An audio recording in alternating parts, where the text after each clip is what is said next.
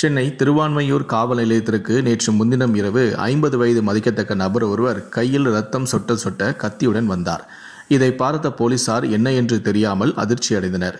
உடனே கத்தியுடன் வந்த நபரிடம் கனிவாக பேச்சும் கொடுத்தனர். அப்போது என் பெயர் கமல் உஷ்மான் நான் அதிதீவிர சிவன் பக்தர்.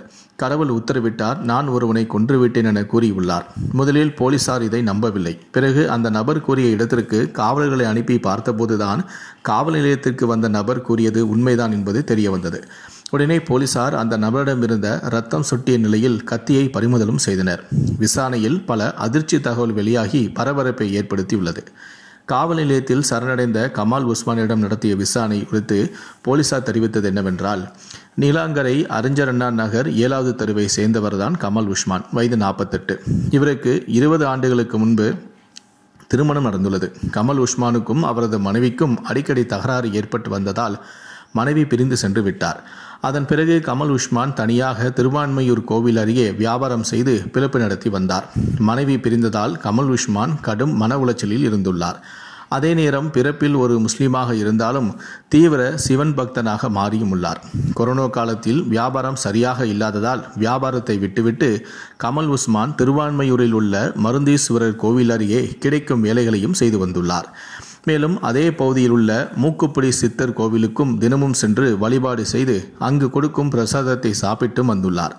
இதற்கிடையே கோவிலுக்கு செல்லும்போது திருவான்மையூர் திருமுடி விநாயகர் கோவில் அருகே திருவான்மையூர் பிடிகே நகரைச் சேர்ந்த பெயிண்டரான செந்தில்குமார் என்பவர் வயது ஐம்பத்தொன்று என்பவர் தினமும் பெண்களை அழைத்து வந்து பேசியுள்ளார். இவர் வடமாநில தொழிலாளருடன் திருமுடி விநாயகர் கோவில் அருகே உள்ள வீட்டின் முதல் மாடியில் தங்கியுள்ளார்.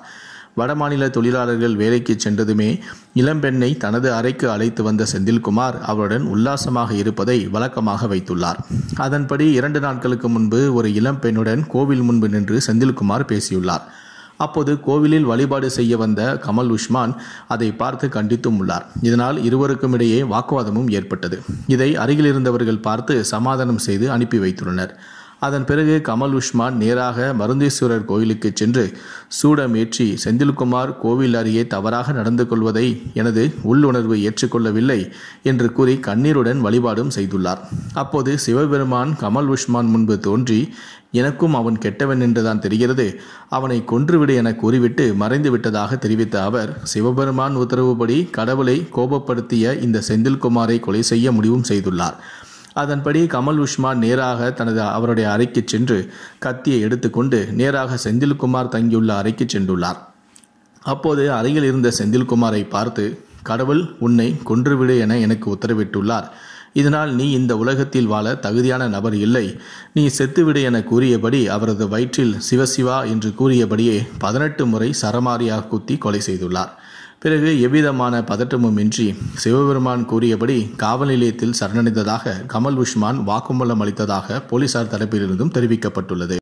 கோவில் அருகே தினமும் பெண்களை அழைத்து வந்து உல்லாசமாக இருந்த பெயிண்டரை கொன்றுவிடு என சிவபெருமான் கூறியதாக போலீசாரிடம் சரணடைந்தவர் கொடுத்த இந்த திடுக்கிடும் வாக்குமூலமானது அந்த பகுதியில் பெரும் பரபரப்பையும் அதிர்ச்சியையும் ஏற்படுத்தியிருக்கிறது.